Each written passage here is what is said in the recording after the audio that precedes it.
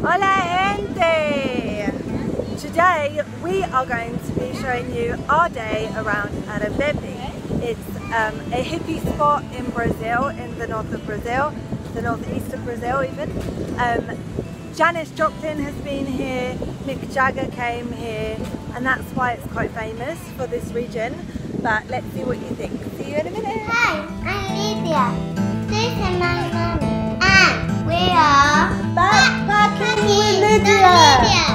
We're on a journey around the world, but where will we go next? Subscribe and follow our journey. We might even surprise you as much as we've surprised ourselves. Hello, so we are on the bus. We are now going to the airport. From here we will catch another bus and I'm not sure which one that'll be, so let me tell you when we get on the next bus. And we're going to Arembepe, we're going to visit the hippies. So we'll see you soon. Okay, so we've just got off our bus and um, I'm sorry, I don't remember what it was called, but it did have Arembepe written on the side of it, so that makes it a lot easier to find. Lidia is here too. This is the other Charlotte that is a British student at the University of Auckland. Who knew we are the only two British students and we are both called Charlotte. um, we're now going to look for the hippie village, so that's going to be exciting. We're going to have a look around now. I'm going to take a bit of, I'm going to film a little bit of there so you can see what it's like. This village is really popular because a lot of the hippies from the 70s went there or maybe a bit earlier. So we'll see you when we get there. I was worried blow my reputation. But I figured it's not on me. Yeah, yeah, yeah. Well, I think we've just found a pretty secluded beach. So if you want somewhere a bit private that's uh, a- you're able to get a bus from the Salvador Centre to somewhere, if you don't mind travelling for two hours, which we have done on bus, then this is pretty awesome.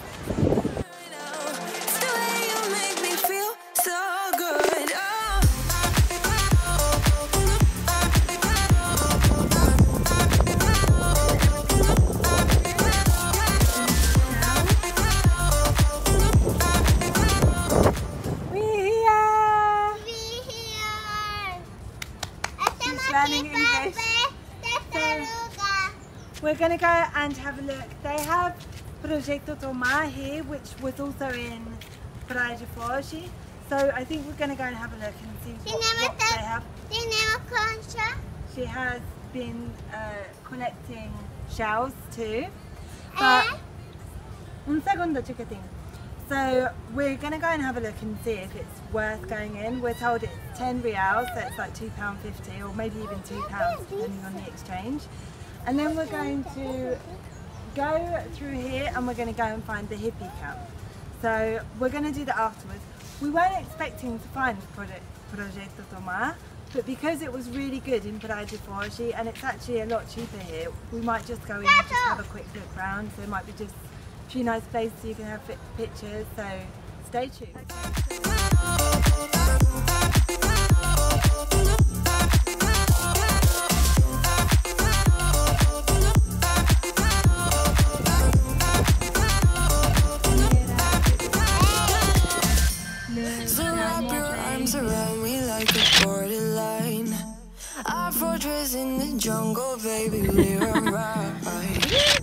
Much for people like them.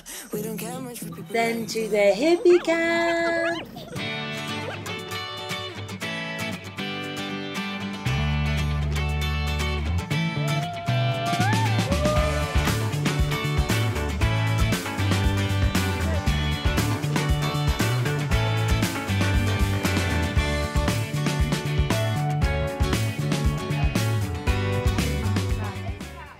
So you can camp here, you can rent a tent for 15 reals and then you can pay another 15 reals per person. So that works out at like 9 reals, uh, sorry, 9 pounds a night. Um, or you can just visit from Salvador and it's a two hour journey. I actually, now that I'm here, I would recommend stay here overnight and then you get two days at the beach and it's flipping, it's a little paradise island here.